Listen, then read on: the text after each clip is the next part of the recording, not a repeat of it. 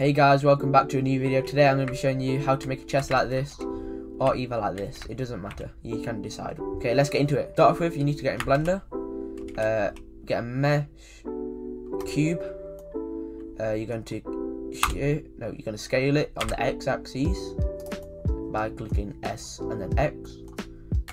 Just around that shape, should be good. Okay. Now you're going to mirror it, auto mirror this here. So to get auto mirror, you need to click edit, uh, preferences, uh, add-ons, search up auto, it should come up, auto mirror. Okay, that should be good. Okay, so now you go to edit mode, uh, click N on your keyboard, mm, not that's not N, N, uh, auto mirror, you click edit and then auto mirror, do on the X axis, positive, um, auto mirror, click that. Now you can do it to Y, but you have to click negative, auto mirror. Okay, now you go down to this one here, this tab, uh, click on disable, get rid of that one, like that. Uh, now you click Y on there. Okay, now whatever you edit in this square, it will happen to all of them. Okay, so let now let's get into it. Okay, to start off with, you're gonna add a loop cut. Uh, let's add this one first. There. And now another loop cut, one there, another. By click, by the way, you make a uh, loop cut by clicking Alt R, no Control R, I mean. Um, now click there, we're going to bring that back. So this is a square here. Okay, so now you select these two. Uh, click G, Z, lift that up. Uh, it doesn't matter how much, I'm going to lift it up a little bit more like that, maybe. Doesn't really matter. Uh, select these, go to, select these two faces, GG, double click G. Select, do drag them up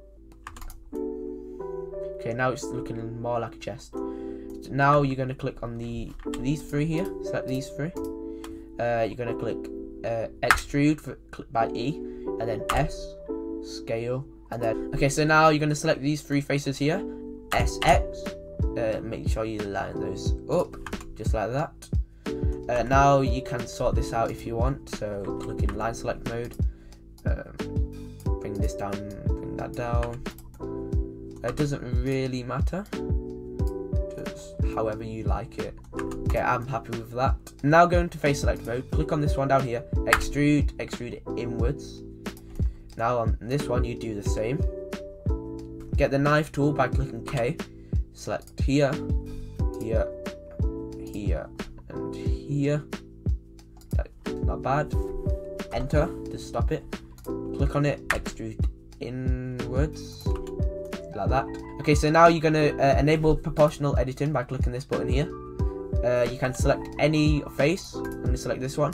You can now scale, or you can scale inwards if you want. Uh, I haven't done an inward one yet, so I'm going to do that. Not that much, I mean. I mean, that around there, that should be fine.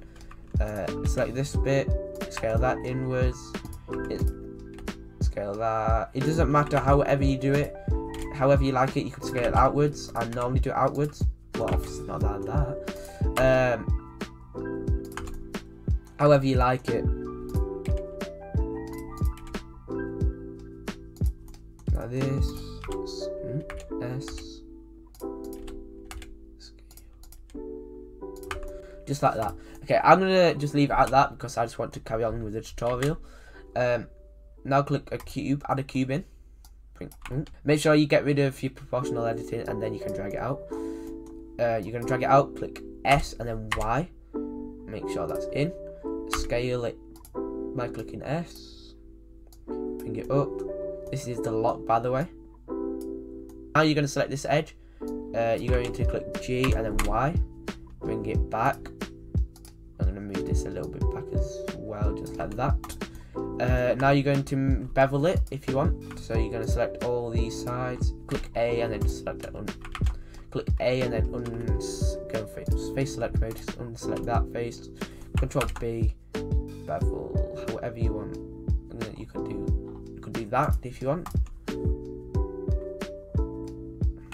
You could bevel it even more if you want, just like this. Change how many uh, bumps there are, you can't. you just scroll on your mouse wheel. Okay, now you're going to do the key in the middle where you put the key. Okay, now to do that, go to edit mode, click K on your keyboard again to get your knife tool. you're gonna draw your key. I'm not good at drawing, so that's gonna do. Okay, now you've done that, you can click on click on it, extrude inwards until it collides with the back of it. Okay, if you want a tutorial how to colour it, um, I'll make that. Just comment down below. Uh, if you want any more help, join the Discord server, and thanks for watching.